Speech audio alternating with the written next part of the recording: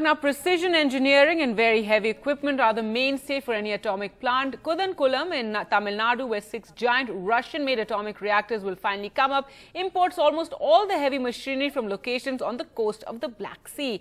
NDTV science editor Pallav Bagla was given rare access to a mega factory where the equipment destined for Kudankulam is manufactured.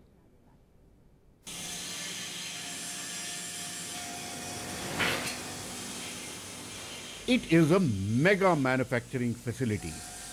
Literally, a road runs through the shop floor, and workers use bicycles to commute between workstations. It is the size of several football fields. Here, some of the 6,000 tons of heavy material needed for each of the 1,000 megawatt reactors located at Kudankulam in Tamil Nadu is literally handcrafted with precision. Each reactor cost upwards of 40,000 crore rupees and delays are expensive. Everything is very good and we are sure that we deliver every our main equipment on time because right now we uh, uh, produce a lot of equipment and we're ready to start to deliver it in the end of this year. We're always looking for a Kudankulam 5 and 6 and we plan to let's say we hope to plan to to, to sign this contract uh, during this year. We understand that uh, Indian customers even uh, over controlled some special equipment and especially main equipment.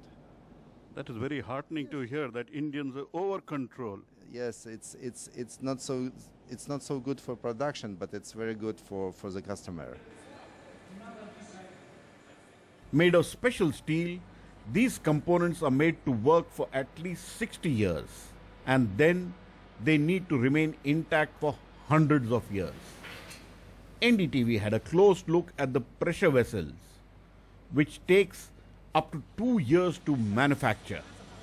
What you see behind me is the pressure vessel, the real heart of an atomic reactor.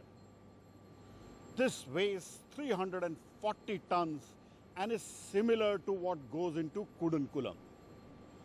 In all, about 6,000 tons of equipment is shipped from Russia to Tamil Nadu and Kudankulam for the functioning of the Kudankulam nuclear plant.